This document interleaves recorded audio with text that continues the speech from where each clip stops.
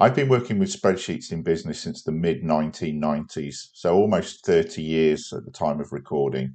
And in that time, I've seen some shockingly bad spreadsheets. For obvious reasons, I can't go into specifics, but during that time, I've definitely seen files that before they were corrected or replaced posed a financial or security risk to the companies involved. There's a common statistic that 9 out of 10 spreadsheets contain errors, and a study released at the start of 2024 has revised that statistic to 94%. So nobody is immune from creating errors in their workbooks. In this video, I'll talk about why following spreadsheet best practices is important, where you can go to find additional information on this subject, and then I'll go through my own 10 step model for designing high quality spreadsheet files.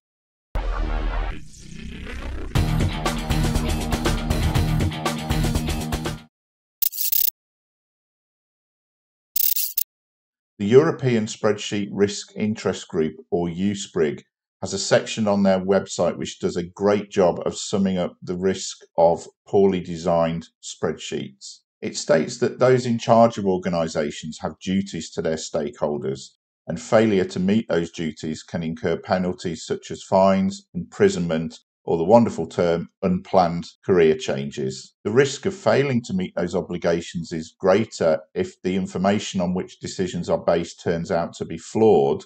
And in most companies, the majority of that information is spreadsheet based.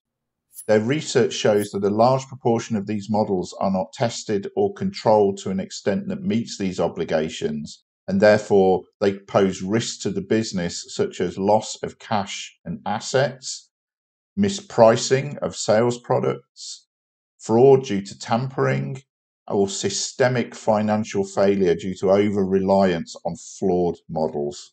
This leads EuSpRIG to state that failure to ensure high quality spreadsheet documents, or even failing to be able to prove the quality of spreadsheet documents is in itself a failure of the compliance duties. The EuSpRIG website maintains a page on horror stories about bad spreadsheets, and I've picked out a couple of recent examples here.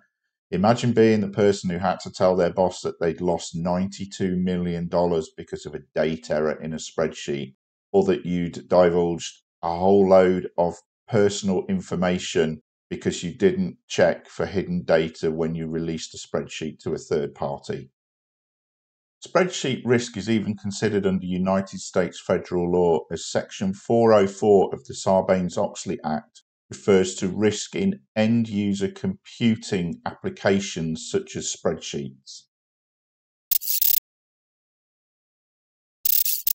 If you're looking for some background reading on best practices in spreadsheet design, download a copy of the FAST standard.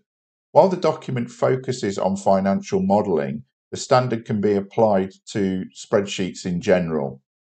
It states that a spreadsheet should be flexible in that it's adaptable to change and able to model different scenarios.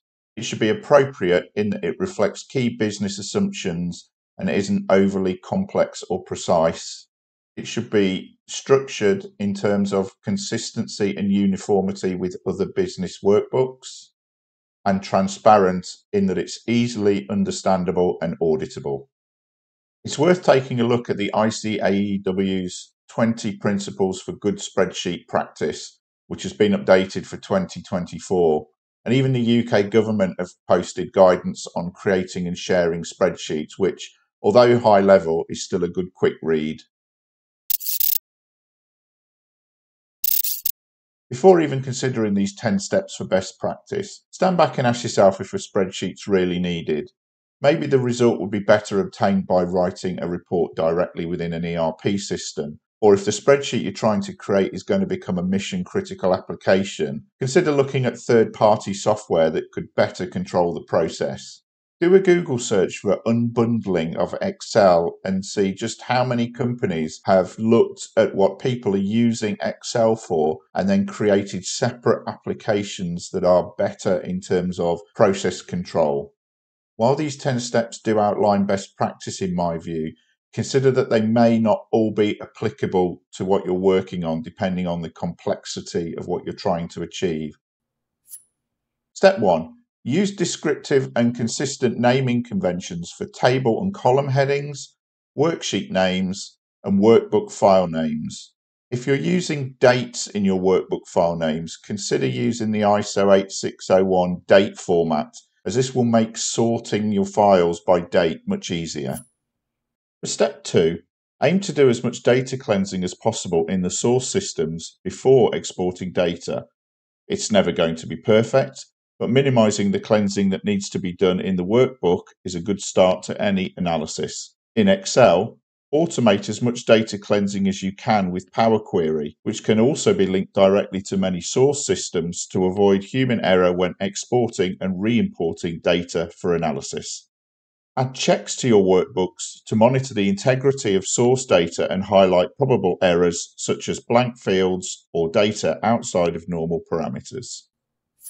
Step 3 implies that you should use the simplest features, functions, or formulas for the task you're trying to achieve.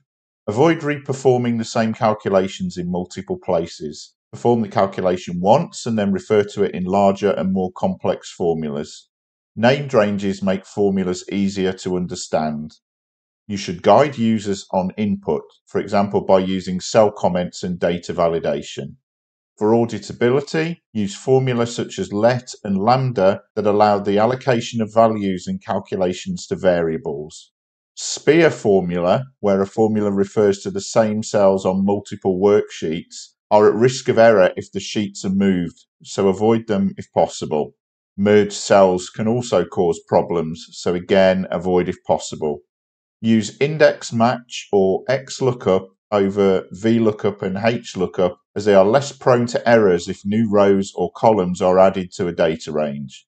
You should focus on the core purpose of the model and stick to it, but design with expandability in mind, such as the ability to incorporate new products and departments. Step 4 builds on the rule of simplicity in that any programming code added to a workbook increases its complexity, so care must be taken. For Excel, this means VBA, Office scripts, and now Python. Power Query is incredibly useful for cleansing and analyzing data, but also contains code. You have M code for ETL or extract, transform, and load, and DAX code for analysis. With M code, you must assign clear, meaningful names to the steps in the Power Query editor. In all instances, you must ensure that any code is thoroughly documented for auditability and review. Step 5 means you must apply formatting and layout uniformly across all your workbook models to help users understand and interpret them. Use workbook themes, which in Excel consist of fonts, colors, and shape effects. Use consistent cell styles and include in each workbook's documentation a guide to the styles used. Use logical layouts for forms and reports. And consider setting up workbook templates if you're regularly creating similar workbooks. Segregation of workbook components means you should group workbook sheets into discrete sections for Input sheets such as raw data, fixed values, lookup tables, and scenario assumptions. Process or calculation sheets, and in these you should avoid hard-coded values in formula. Output sheets such as reports, and finally checks, controls, and alerts. Put these onto one sheet if possible, or consolidate onto one review sheet if checks need to be spread throughout the workbook to help users with inputting data. Look at using sheet tab colors or placeholder sheets to differentiate the sections. Documentation for your workbook would include a cover sheet containing the version number, details of the document owner, and ideally a hyperlinked menu of the other sheets in the workbook. Notes on different cell styles used and what they indicate. Notes for users on how to complete the workbook and for designers on how to maintain and update the model and fully commented programming code. The previous steps will make a workbook easier to audit. So step 8 is a peer review of a workbook and its embedded code. A review should check for the integrity of formula and results throughout the workbook, consistency of formatting and presentation, any hidden data in the workbook, and any personal data. Whilst hidden and personal data may be needed for the workbook to function correctly, they should be noted in the documentation along with a process for purging such data before distributing the workbook. This process could be as simple as hard coding all output reports in a backup copy before deleting all other sheets. Step 9 involves managing access levels and workbook protection to reduce the risk of accidental or malicious changes. This could involve, but it's certainly not limited to, restricting access via network controls so that the only users who can see or open a file on the network are those who have approval to access the data it contains. Tightly controlled passwords, both for opening and editing the file, and preventing users from downloading copies of a workbook if the data it contains is particularly sensitive. Finally, step 10 is backup and version control. Follow the 3-2-1 backup rule, which recommends keeping three copies of your data on two different types of media with one copy stored off-site, whilst adhering to the protection and access controls outlined in step 9. In a larger organization, these backups may be handled by your IT department. Choose a versioning system and apply it consistently. Ensure you keep copies of prior versions of each workbook in case you need to roll back to an older version due to errors. I normally use year and month numbering with a sub-level to differentiate multiple versions in the same month. I hope this video has given you at least one new bit of advice to help you when designing spreadsheet models in the future. If you enjoyed it, please like and subscribe to get notified of new content as it comes out. Thanks for watching.